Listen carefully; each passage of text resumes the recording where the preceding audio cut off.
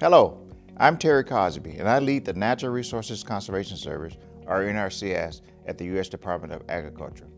At NRCS, we serve America's farmers, ranchers, and forest managers who want to improve their environmental conservation.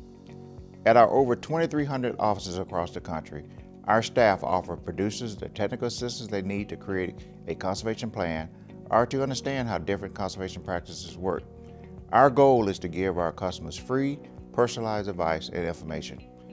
We also have many programs that provide financial assistance to producers, partner organizations, tribes, and tribal organizations, and state and local governments to get these conservation practices implemented on the ground.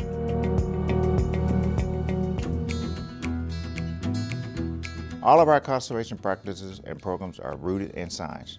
The many science and engineering experts at NRCS create and share our data and conservation practice standard. As an agency, we help conserve, maintain, and restore the natural resources on private lands and improve the health of agriculture operations for the future.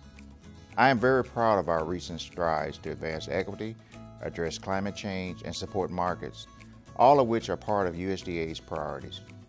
Our work has recently got a boost from the Inflation Reduction Act. This law provides NRCS with 19.5 billion to support our programs that have climate change mitigation benefits. These funds go towards the programs that farmers know and trust through our existing science-based conservation practices that producers are looking at for improving their soil health, water quality, wildlife habitat, and more.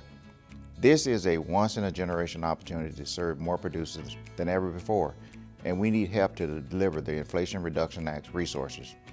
We plan to hire up to 4,000 new staff members and we're working with conservation partners to hire nearly 3,000 more. You can be a part of our groundbreaking efforts, whether you're a student, recent graduate, or working professional. Some of our in-demand positions include engineers, foresters, hydrologists, rangeland management specialists, soil conservationists, and soil scientists. I have been fortunate to spend my entire 40 plus years career at NRCS I've been so proud of the impact that we have had to producers and communities across the country. If you want to live our motto and help people help the land, I encourage you to consider us as the employer of choice. Be a part of our work to lead the way in conservation and climate initiatives across the country. Thank you.